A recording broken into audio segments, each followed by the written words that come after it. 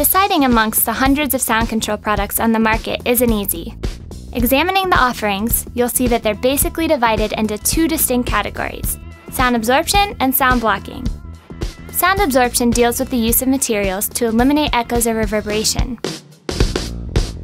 The effectiveness of a sound absorption material depends on its thickness and what it's made of. The more breathable a material, the better absorption it provides. Lower frequency sounds are the most difficult to absorb, but luckily they're the least bothersome. Mid and high frequencies, on the other hand, are much easier to absorb.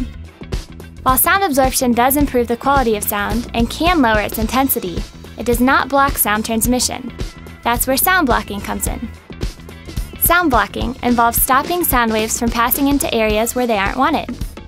The effectiveness of a sound blocking material depends on its mass and what it's made of. Sound blocking frequently involves construction and sound barrier material installation, like Audimute Peacemaker. Installing Peacemaker during the initial construction or renovation of your space is the best way to keep sound where it belongs and block out distractions.